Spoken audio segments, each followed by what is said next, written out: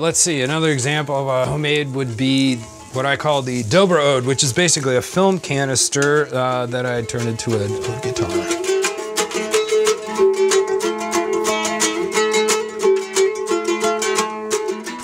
Hello, my name is Christopher Morehead, and this is my tiny house I designed and built, and we are here on the outskirts of Asheville, North Carolina.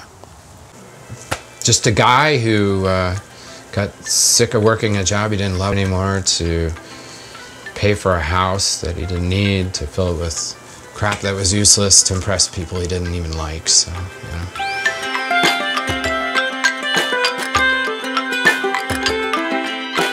I'm uh, someone who uh, really enjoys cooking. I used to be a professional uh, sous chef, and then I shifted gears and uh, got into healthcare. I became an occupational therapist. Um, and during that process, I found myself making a lot of assistive devices and um, adaptive equipment for folks. And I developed uh, a love of woodworking. So I started uh, cobbling together a lot of things. And through the process of that, I kind of got into 3D editing, things of that nature as those technologies kind of came about.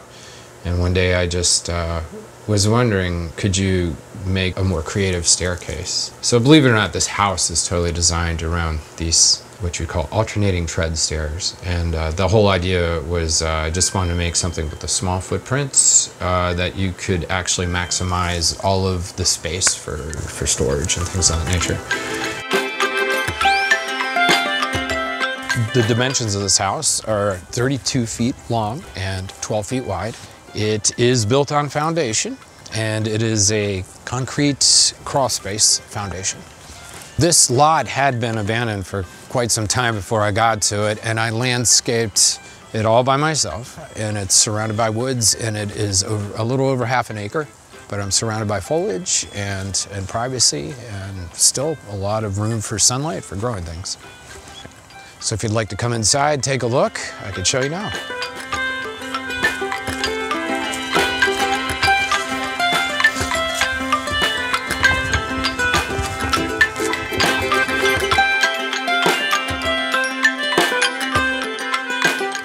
Welcome to my home. Uh, this is relatively 384 square feet, not including the lofts. These are both actually classified as lofts. With the lofts, they're approximately 480 square feet. At the tallest point, it is actually 15 feet, and that really helped me get more of a sense of spaciousness. Another advantage uh, to having a little more space was that uh, I overcame one of the most difficult areas of my life to downsize, and that was my library. I did get rid of three bookshelves worth, but I was able to at least uh, rescue some of the essentials. It's also given me a little bit more shelving space for some of my instruments that do not fit in my recording studio above, which we'll take a look at in a bit. One of the things that uh, I really wanted to do when you came in the entrance was have a closet where you could shed everything from the outside immediately. Put your shoes there, hang your coat up, charge your phone. It's all taken care of in one step. And when you're ready to exit the house, everything's there waiting for you. So a lot of people have asked what the design is on this door, and it's actually, for those who don't know, it's basically you take pieces of paper bag and you crumple them up, and then you use a mixture of half glue, half water, and then you apply it, sand it down, and then add a stain and then a varnish or a coat. I used Arm-R-Seal in this case, and it gives the illusion somewhere between marble and leather. It's very inexpensive, it's very time consuming. So this specific aspect of the living room is 11 feet wide, and that is because I built bump ins for the entrance, and the reason for that is threefold. One, it kind of gave a little extra dimension to an otherwise boxy structure. Secondly, it allowed me to put a little bit of a recess for more shelving and for the fireplace. You might notice I made a little bit of an entablature and enclosure for the fireplace, and I kind of wanted to give myself a little depth depending on what I was going to end up doing in the end. In the end, I went with a, uh, a Hampton fireplace. But the entablature itself, this is actually scraps that were left over from my loft beams, which I had a considerable amount and they were in 16 foot lengths. And while I was working on the living room, I found that I kept tripping over these things endlessly. So one day I had just had enough and I rage designed the entablature, and these are basically all the scraps that are left over. One of the things I like the most about the design is that I keep all of my peripherals for internet connection and uh, Blu-ray, etc., and the Wi-Fi, and that's all behind uh, basically rare earth magnets that are put on there, and uh, that stays put uh, pretty much. A lot of the walls basically came from used scraps of flooring that I found. a lot of people don't know this, but people bring their remaining flooring to Lowe's thinking they're to get their money back and realize that Lowe's can't sell it. So they just kind of do away from it. So this is a project that you'd find an investment? I certainly did. Um, it's uh, definitely a unique alternative to some of the other materials you may use for building. There's various types of woods uh, because they came from different uh, types of flooring. There's a, but they're all hardwoods, everything from oak to poplar to hickory. There might be some sapele in there and some acacia, I believe. So how I got in, introduced into woodworking as a hobby, I decided to repurpose and redesign everyday objects into musical instruments, which has become a passion of mine as I love writing music and I love performing.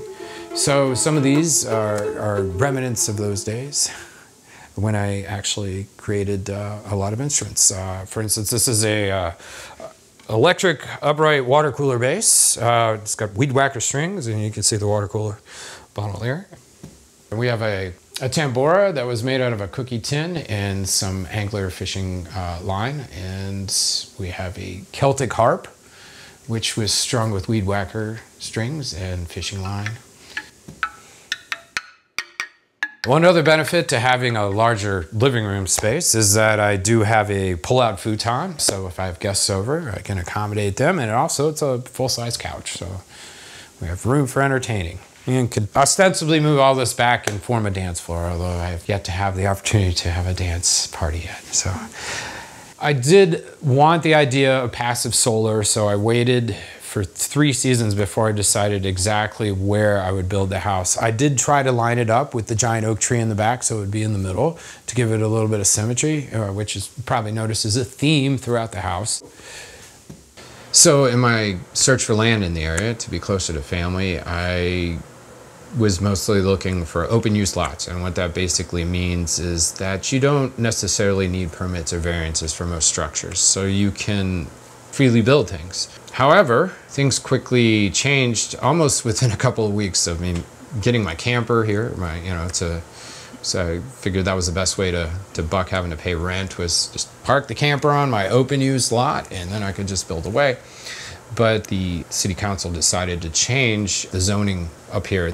They changed it to R3 zoning, which is residential zoning. It allows you up to three structures. However, it's you need to get permits. No uh, trailer builds, so I decided to take the opportunity, take the lemons and make uh, lemon meringue pie, and I decided I'd build on foundation. I was learning some things from living in a camper, which uh, one of the biggest things were that eight and a half feet may be a bit too small for my own needs and uh, my own clumsiness, admittedly. So I decided if I was on foundation, there was no real reason to stay limited to road regulations and I could push things out and maybe push up the lofts a little bit, give yourself a little headspace. So I was inspired greatly by Frank Lloyd Wright. I think he was kind of the master of doing designs at angles. And I really wanted to capture that with this Japanese tansu style design in the loft windows. I wanted everything to be open and spacious, but also give a sense of privacy, but at the same time for circulation and also just for that airy open feeling.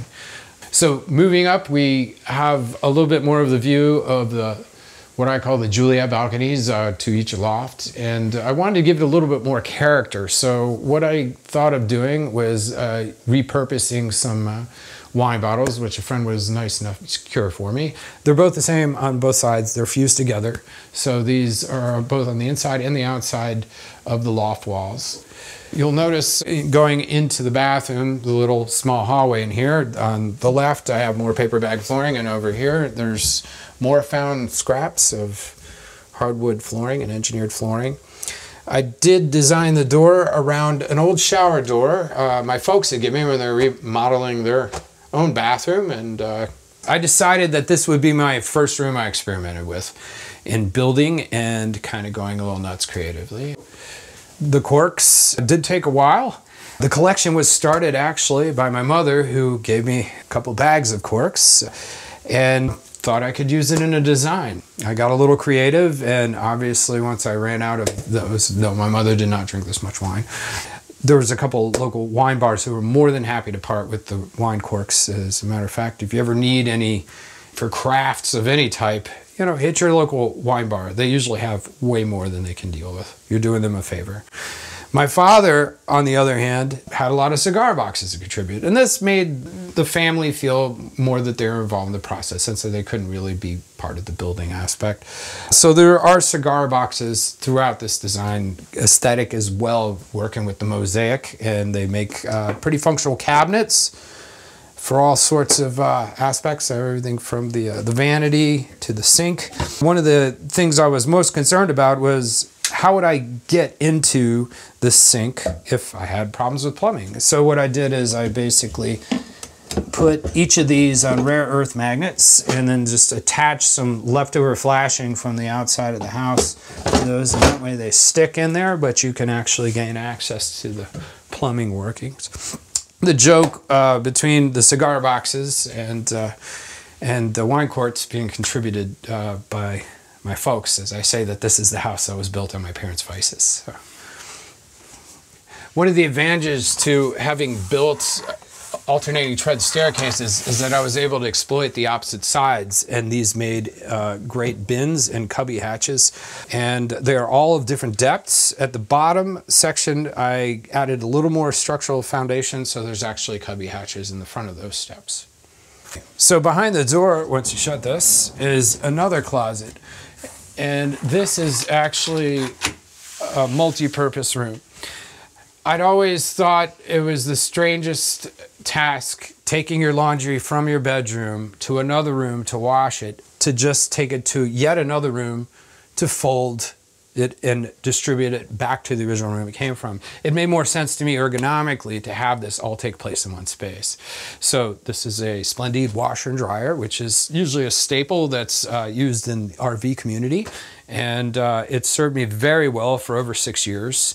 Uh, again, more reclaimed uh, there's reclaimed cork flooring, uh, hardwood floors, a little bit of spruce. So it's a little bit of cobbled everything together. But I had put a little bit of a uh, fold out table on here. So once you're done, you can fold all your laundry and then stick it away right there. So I'd gotten a really good steal at a local surplus company on a set of a corner shower doors uh, for 40 bucks. When I took it home, it was brand new in a box from 1996, hadn't been open. And as it turned out, it was a $1,200 jacuzzi unit.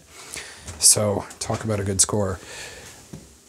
Moving on to the other side of the house, we have the kitchen.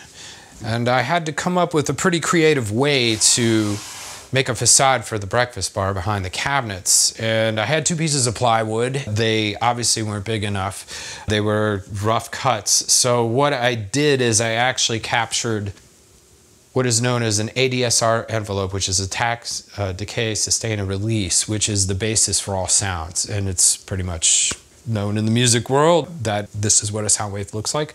And not only that, but it had the additional meaning of looking like a mountain during a sunset. All right, so coming into the kitchen. The kitchen probably took longer than any other room in the house, and at this point, I felt pretty confident with my carpentry skills.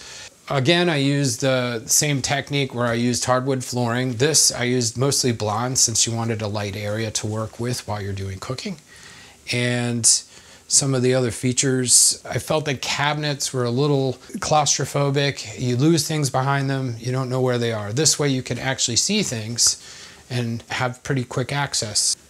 Since I wasn't going to have a cabinet, I would get some shelving. So this is basically just simple IKEA shelving, just hanging right over the sink. And when you're done with your dishes, you just put them away and they dry.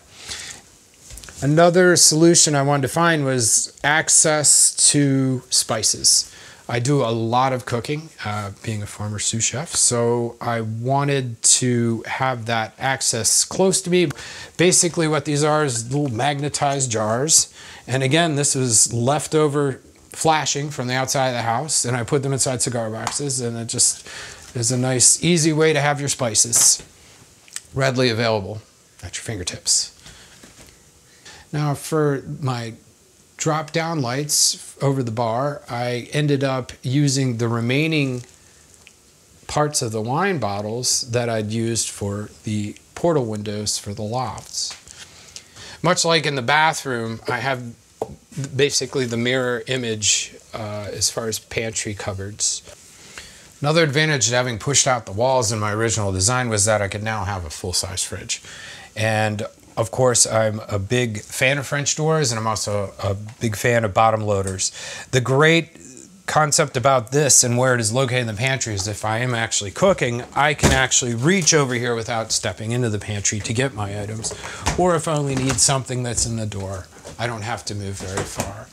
Another aspect, uh, there was a lot of space that was going on back here. Uh, next to the fridge and I was finding a lot of things like the vacuum cleaner were just being thrown back there in a state of clutter. So what I ended up doing was taking all the scraps that were left over from the kitchen project and making a pullout. And so basically this has everything I need as far as electronics up above. I have my cordless vacuum cleaner is uh, charging there and then I have all of my dried goods. So my budget for this house was $80,000 mostly because I had decided to go on on board with uh, working with the, you know, with planning and development and doing it right with the land that I'd gotten, uh, which I got a steal for uh, twenty six thousand. It also included a two bedroom septic tank. The next room is uh, we'll take a look at is the bedroom, and on the way, I guess I'll talk a little bit about my staircase. So basically the difference between this and a regular set of stairs is it's a little more like a ladder. It's actually right in between a ladder and a staircase. And the idea is that each foot has a separate cadence when you're using them going up or down. All right, so up here in the loft bedroom, basically what I've done is I wanted to let a little more sunlight in, but give myself some privacy. I found a pretty good score, two polarized shower glass doors that I used as windows and I've used those on both lofts for both the bedroom and for the recording studio. And then for the backdrop, I want to make the world's largest headboard, which is basically, these are just uh, a total collection of cigar boxes and lids, and I pieced them together to make a pattern. So a little bit more about the design aesthetic. I really wanted an open, kind of balcony-esque feel that just overlooked everything and let sunlight in from the windows when you were up in the loft. And when we wake up in the morning, kind of gives you a feeling you're up in the trees a little bit, which we are here on the mountain.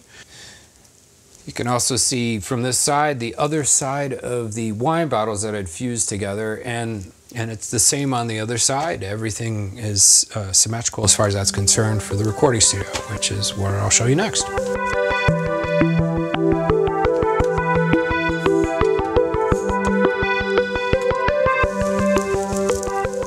This is the recording studio. Um, it is probably the biggest reason that I was happiest doing a bit of an expansion on the house when I was designing and building it.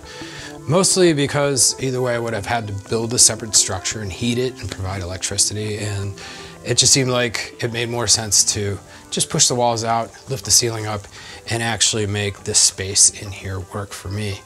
Music is probably my biggest passion in life. I love playing instruments, I love composing music, and I do a little bit of soundtracking here and there. It's been a while. It's definitely a don't give up your day job job, and it's mostly for the fun and the passion. If you could say anything, I like collecting sound. How about that? The biggest problem you have in any recording studio especially one this small, is slapback and reverberation from all of the acoustics that are going on. So the way you manage this is through uh, two techniques. One is called absorption rather, is usually handled through foam, which I have these up for. And then with the scraps, more scraps of sapele and also the triangles that were cut off of the leftover framing from the house, I was able to make reflectors. Basically, if you think of sound of kind of like water, you're able to distribute it and have it splash in other areas, and then it controls a lot of echoes and feedback and comb filters and things of that nature. And so this seemed to be a really great setup for me, and it's worked so far with both live instrumentation and for listening. Uh, when I'm doing mix downs for songs.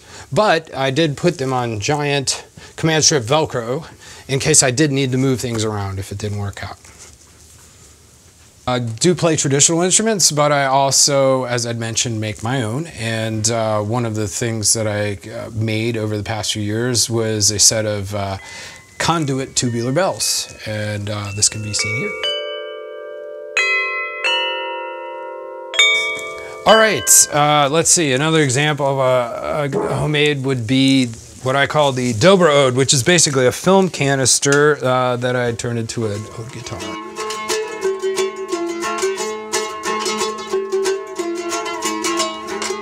Because I'm in such a small space, I needed to come up with a workflow which would allow me to move around in a circle and to be able to record and mix and play instruments very quickly and in, in a short period, be able to return back to my main recording workstation. Over here, I have basically my collection of synthesizers. It's quite a lot, yeah. I do enjoy synthesis, but I'm also very big into organic music as well as you can see, big string instruments, that's how I got my start. Here, this is more the rhythmic section, everything from drums to percussion, and then some. Over here are my, basically my guitar peripherals.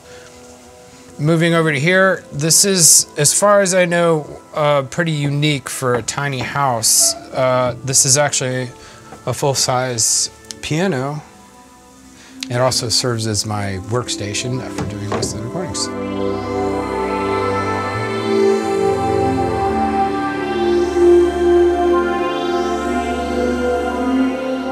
Whole journey of building this house ironically became something of a philosophical and spiritual journey for me because I was able to really take responsibility for all my own thoughts, ideas, feelings. And uh, anytime I made a mistake with something I was doing, it, it was my responsibility and my fault. I had no one to blame. And you stop and you realize that by doing this exercise, you become better at doing it with people, even though you're doing it by yourself. And suddenly you start to see when other people are doing it and you become more understanding and forgiving and empathetic with that as well. So it actually made me a more loving and kind person through doing the work by myself. I think through that, another aspect of the wabi sabi is, you know, you you start to develop this pattern where you're starting off from ground zero. You don't know what you're doing. I intentionally started off in the bathroom because I had a lot of wild ideas. And I also knew that by the time I was done the house, I'd kind of be cringing at the work I'd done. And you don't spend much time in a bathroom, so it's not really a big deal, right? You know, you just go and do your business, get out. So it was a good experimental uh, room. The irony being, by the time I got to the other side of the house, I found myself looking down my nose at the person I was because I'd become so much further. But had it not been for that journey from those steps, then I never would have accumulated the knowledge and the experience of building the rest of the house to get to that point. And so that I guess is where the idea of the aesthetic of wabi sabi comes in. It's like appreciate your journey because that's how you got there. It's never about some arrival point and uh, it's always have those reminders of your imperfections you know to remind you how far you've come not not to cringe at to appreciate you know it's like wow look at the growth you know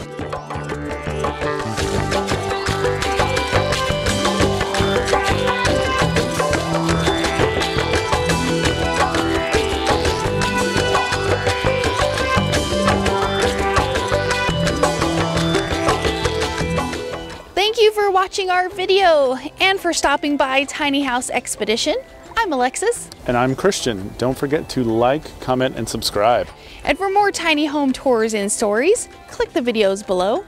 And join us on Instagram for bonus content. including face to face conversations with us. we hope to see you there. All right. Thanks, guys. Have a good one.